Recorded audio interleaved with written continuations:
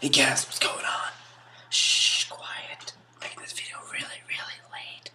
Well, not that late, but it's like 10:40 right now. But I just found out that the the Spirit jailbreak for the iPad, iPhone, and iPod Touch on the latest firmware, I think 3.1.3, 3. Point, let me just check my phone right here. Um, is now available. So I'm gonna do it for the first time uh, with you guys. I'm gonna take you along for the ride.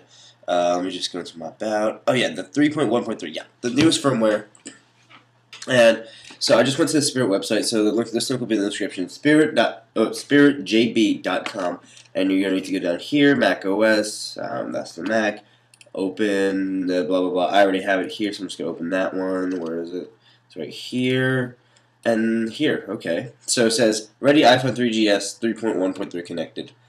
And let me just show you that it is connected. So it's connected right here. It says 3.1.3. Of course, it'll be backwards, but you can maybe see it. Yeah, right there. Right there. Okay. So let's do this together. Woohoo! Jailbreaking. Whoa. Okay, it says restore in progress.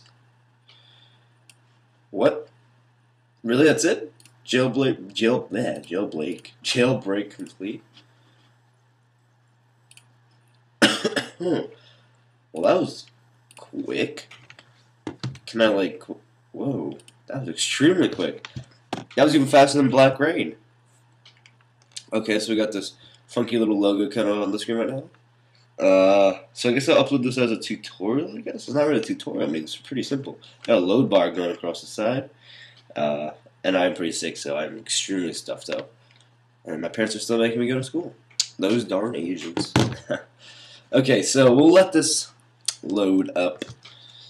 Uh, says on the screen, you can see jailbreak. Wow, it already that was really really quick. So I guess it's almost done. It's almost done.